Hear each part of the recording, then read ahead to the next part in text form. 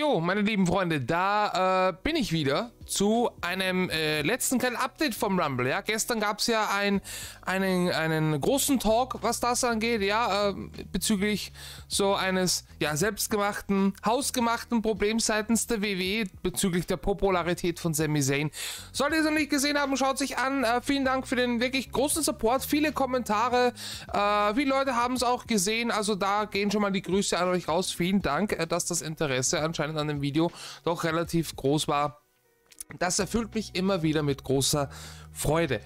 Ähm, jetzt noch ein paar kleine Happen vorm Royal Rumble. Erstens, bevor wir zu den äh, aktuellsten und letzten News kommen, äh, jetzt doch mal auch vom offizieller Seite. Heute um 17 Uhr startet der Stream. Ich wollte es schon früher machen, es tut mir leid. Äh, hatte jetzt noch ein bisschen was zu tun, geht sich nicht früher aus. Aber ab 17 Uhr beginnt der große Rumble-Stream. Das heißt, sie hatten sicher 12, 13 Stunden trotzdem locker werden. Ist, glaube ich, genug. Ähm, äh, Streamplan ist, in, äh, ist am Discord eingetragen und ist auf Twitter auch geschrieben. Also ähm, wird genug gezockt. Wir werden Among Us zocken mit der Community, äh, Mario Kart, es wird geraged werden, gelacht werden. Es gibt wieder Giveaways, es gibt ein Pokémon Opening. Ich glaube, da sollte für jeden irgendwo ein bisschen was dabei sein. Ja, kommen wir noch zu den letzten Infos, die letzten Scoops, die man noch so mitbekommen hat äh, bezüglich Gerüchte, Comebacks und, und, und weiß der Geier. Zum einen, Vorsicht, Smackdown-Spoiler.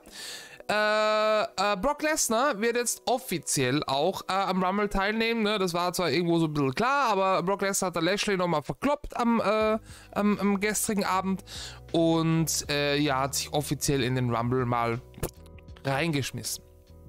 Das heißt, das ist schon mal fix. Brock Lesnar ist dabei, sollte also zumindest, auch wenn er, ich bin mir ziemlich sicher, dass er diesmal nicht gewinnt, aber ähm, sollte für ein paar interessante Eliminierungen sorgen.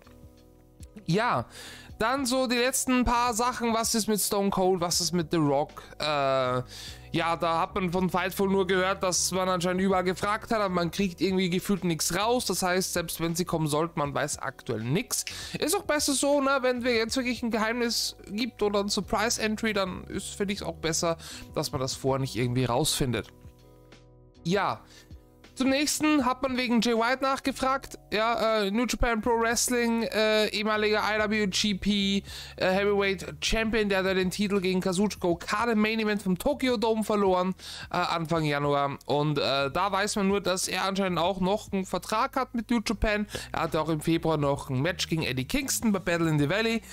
Muss trotzdem nicht zwingend was heißen. Wir haben es ja an der Personalie Carl Anderson gesehen, dass da ja ähm, Vertrags äh, Daten, äh, Vertragsdatum, Daten, ihr wisst, was, wie es gemeint ist, dass sich das ein bisschen überschneiden kann.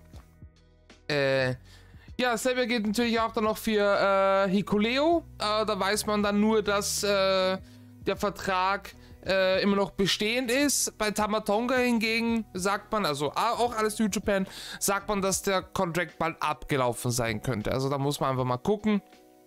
Äh, was das Pitch Black Match angeht, äh, hat man anscheinend gehört, sollen ein paar Neonlichter, Neoneffekte irgendwie eingebaut werden. Also ich gehe jetzt einfach mal davon aus, dass die Halle dunkel sein wird und durch die Neonlichter wirst du so ein bisschen was sehen. Boah, wird das Match ganz anders und schwierig und Hilfe. Boah.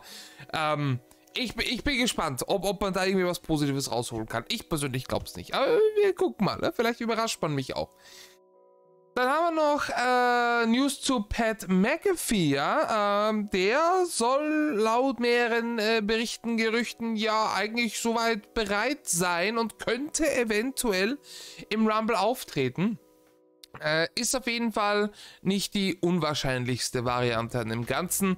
Ähm, wir haben dann natürlich noch ähm, ja, so ein paar generelle Kandidaten, ne? Matt Cardona, aka Zack Ryder, der jetzt vieles für WWE hat patentieren lassen. Äh, Matt Cardona ist natürlich dementsprechend eine Möglichkeit. Du hast den Great Muta, den du immer wieder, jetzt gerade in der Zeit, wo er ja seine äh, Goodbye-Tour macht, den kannst du mit einer potenziellen Hall of Fame-Aufnahme, kannst du natürlich immer in den Rumble reinschmeißen. Ähm, und auch rausschmeißen. Ähm, das, hoffentlich machen das seine Knie noch mit. Äh, ja, und vielleicht zu den einen oder anderen generellen Surprise, aber da, da, ne, sagen wir mal, wenn ein Rock oder ein Steve Austin kommt und ein Pat McAfee und dann vielleicht noch wer von New Japan, dann hast du eh schon dicke Brocken. Also dann, ähm, da mache ich mir, glaube ich, keine Sorgen. Ich freue mich auf Männer Rumble, das wird, glaube ich, ganz cool werden. Auf der Frauenseite, ähm, ja, sieht es da ein bisschen düster aus. Ne? Du hast natürlich eine Chelsea Green, die da in den Startlöchern steht. Da hat man übrigens gehört, die soll anscheinend eine, eine, ein Karen-Gimmick bekommen. Ja, kannst du gleich die Kugel geben.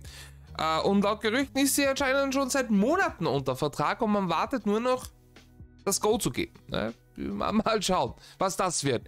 Äh, was hier so die, die, die Rumble-Favoriten angeht, bei den Männern steht Cody Rhodes ganz oben. Es gibt ja mit, es gibt in Amerika, kann man ja auch auf Wrestling wetten, was ja immer so ein bisschen ein Indikator ist, weil, na, das gab da mal vor ein paar Jahren, gab es da wilde Geschichten, dass ähm, diese Anbieter, äh, die da, die es zulassen auf Wrestling äh, zu, zu wetten, die sind da meistens so ein bisschen in, in WWE Backstage und so äh, verstrickt und dementsprechend, wenn es da solche Quoten gibt, dann kann man das gut herauslesen, wer wirklich den Rumble gewinnt.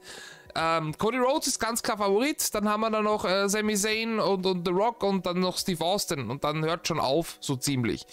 Ähm, ja, ich glaube, Rollins ist da noch irgendwie mit einer Tausender-Quote oder irgendwie so dabei äh, ja, so nichts der Rede wert. Aber wir haben ja auch gesehen vor ein paar Jahren, da hat es ja geheißen, ja, Charlotte Flair gewinnt laut Wettanbieter den Rumble und dann war es Rhea Ripley, das war das Jahr, ich glaube, das war 2019?